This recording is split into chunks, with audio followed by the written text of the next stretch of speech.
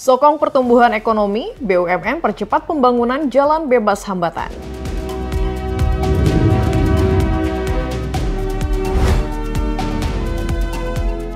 Permudah imigrasi, Bandara Igusti Ngurah Rai Bali resmikan 30 auto gate.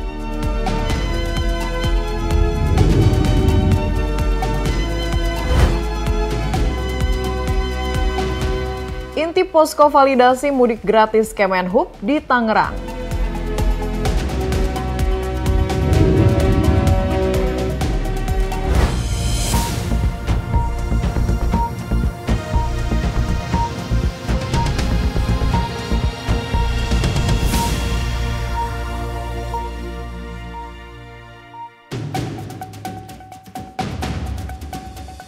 Halo selamat siang pemirsa, Kilas Nusantara kembali menjumpai Anda Kamis 7 Maret bersama saya Nabila Karisti.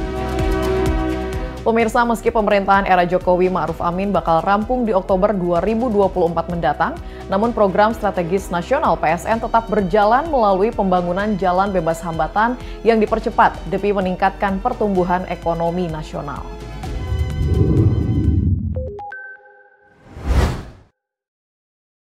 Menteri Badan Usaha Milik Negara BUMN Erick Thohir menegaskan keberadaan jalan bebas hambatan atau tol akan mempercepat pertumbuhan ekonomi suatu daerah.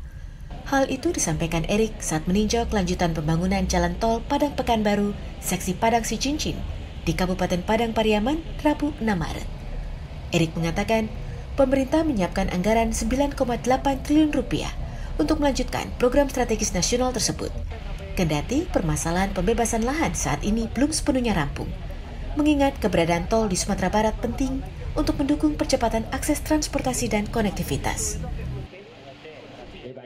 Memang pertumbuhan ekonomi harus lebih merata, tidak hanya di Jawa tetapi juga di Sumatera harus terlihat pertumbuhan itu. Ada hambatan Pak untuk progres pembangunan tol ini Pak? Ya kembali kita perlu dukungan daripada pemerintah daerah juga untuk khususnya pembebasan tanah yang hari ini sudah mencapai 93 persen dan jalan ini sudah mencapai penyelesaian hampir 53 persen.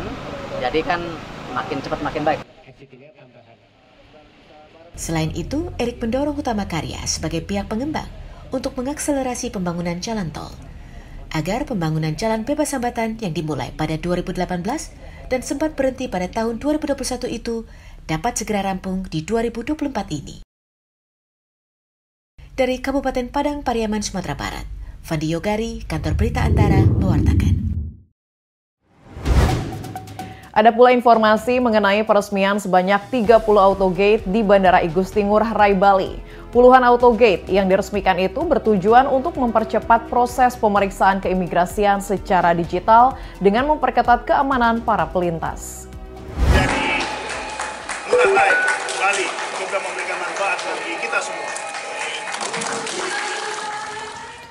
Sebanyak 30 gerbang elektronik otomatis atau autogate untuk pemeriksaan keimigrasian resmi beroperasi di Terminal Kedatangan Internasional Bandara Igusti Ngurah Rai Bali pada 6 Maret. Semakin bertambahnya fasilitas tersebut membuat banyak pengunjung, utamanya wisatawan asing, merasa sangat terbantu.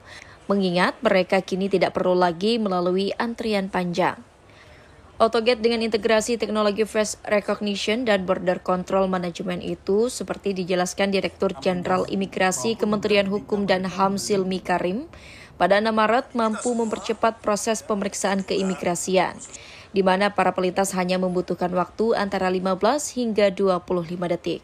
Pihaknya pun memastikan autogate di Bandara Ngurah Rai akan terus bertambah tidak hanya di terminal kedatangan, tapi juga keberangkatan secara bertahap, hingga mencapai 80 autogate di tahun 2024. Karena selain mempercepat proses keimigrasian, juga menghubungkan sistem perlintasan dengan database Interpol serta database cegah dan tangkal untuk pihak yang terlibat kejahatan atau catatan lainnya pada database imigrasi. Dengan tahap 2 dalam waktu dekat, sehingga total itu ada 80 sampai 90 yang akan dilaksanakan di tahun ini juga. Nah, kita juga terus memperbaiki daripada uh, sistem dan juga prosedur. I haven't been here for a month or two, and it's yes. big improvement. Fantastic. Yeah. yeah. And then it, it, takes your uh, more quicker than yeah, before. Yeah, yeah, yeah. You know, way, way better than before. So yes. I can remember the long lines, yes. waiting, waiting, waiting. You know, no, it's really good. Untuk dapat menggunakan fasilitas AutoGate, warga negara asing wajib menggunakan paspor elektronik dan memiliki visa yang valid. Seperti e-visa melalui situs evisa.imigrasi.co.id atau pembelian visa on arrival melalui konter Molina Light di terminal kedatangan. Sementara bagi WNI dapat menggunakan AutoGate baik pemilik paspor elektronik maupun paspor non-elektronik. Dari Bandung, Bali, Rita Laura, Kantor Berita Antara mewartakan.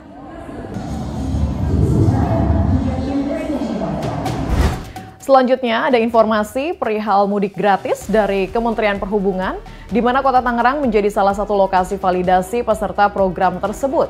Sekaligus juga menjadi lokasi keberangkatan mudik gratis yakni di Terminal Poris Pelawat yang dijadwalkan pada 7 April mendatang.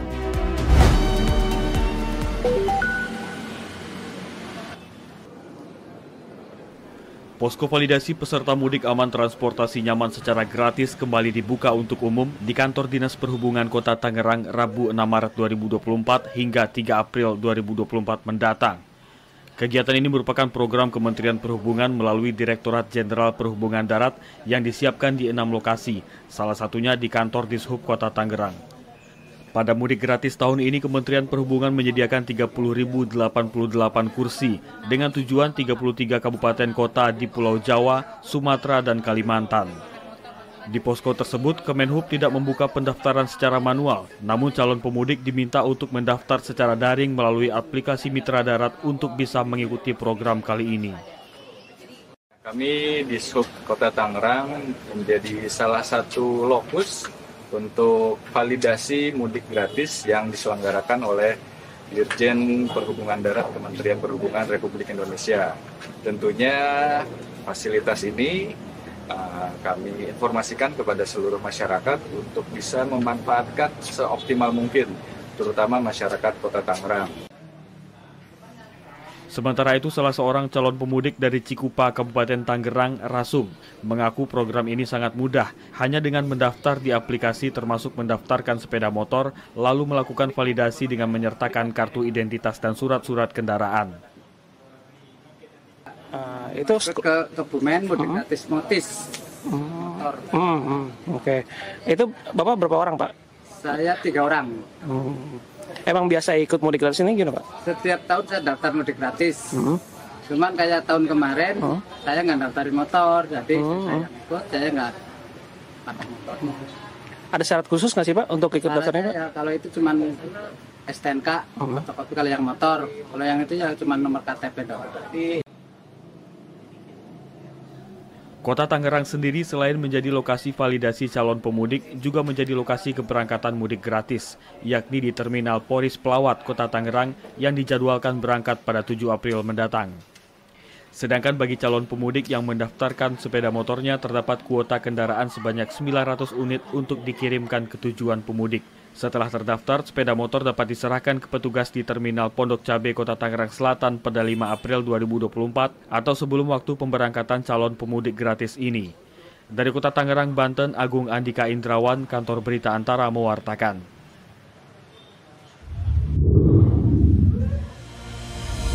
Pemirsa, kabar tadi mengakhiri kilas Nusantara siang ini. Kilas Nusantara akan kembali menjumpai Anda malam nanti pukul 20 waktu Indonesia Barat. Sampai jumpa.